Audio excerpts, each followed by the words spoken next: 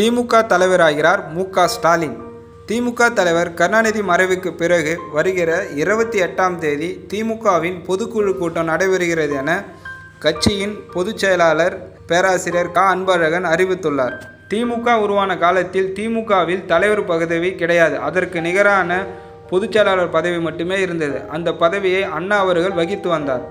அண்ணா அவர்கள் மறைவுக்கு பிறகு திமுகவில் தலைவர் பதவி உருவாக்கப்பட்டு கடந்த ஐம்பது ஆண்டுகளாக திமுகவின் தலைவராக கருணாநிதி அவர்கள் வகித்து வந்தார். இந்த நிலையில் கருணாநிதி அவர்களுக்கு உடலில் ஏற்பட்ட தொய்வு காரணமாக திமுகவில் செயல் தலைவர் பதவி உருவாக்கப்பட்டு அது மு ஸ்டாலினிடம் வழங்கப்பட்டது. கட்சியின் அனைத்து நடவடிக்கைகளும் மு ஸ்டாலின் முன்னின்று நடத்தி வந்தார்.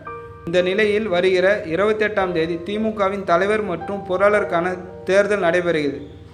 திமுகவின் பெரும்பாலான கட்சி தொண்டர்கள் மு. க. ஸ்டாலினே தலைவராக வர வேண்டும் என விரும்புகின்றன ஆகையால் திமுக தலைவராக மு. க. ஸ்டாலின் நேரடியாக தேர்ந்தெடுக்கப்படுகிறார். திமுகவின் பொருளாளர் பதவிக்கு கடும் போட்டி நிலவுகிறது.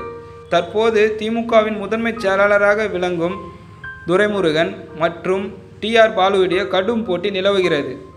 இந்த நிலையில் மேலும் திமுகவில் புதிய பதவிகள் உருவாக்கப்பட்டு அது கனிமொழி மற்றும் கலாநிதி மாறனுக்கு வழங்கப்படுகிறது என கட்சி வட்டாரங்கள் தெரிவிக்கின்றனர் இந்த நிலையில் கருணாநிதியின் மூத்த மகனான அழகிரி மாபெரும் பேரணியை நடத்த இருப்பதாக தெரிவித்துள்ளார். இந்த பேரணியில் சுமார் எழுபத்தைந்தாயிரம் முதல் ஒரு லட்சம் தொண்டர்கள் கலந்து கொள்வார்கள் என மு க அழகிரி தெரிவித்துள்ளார். இதனால் திமுகவினரிடையே சலசலப்பு ஏற்பட்டுள்ளது.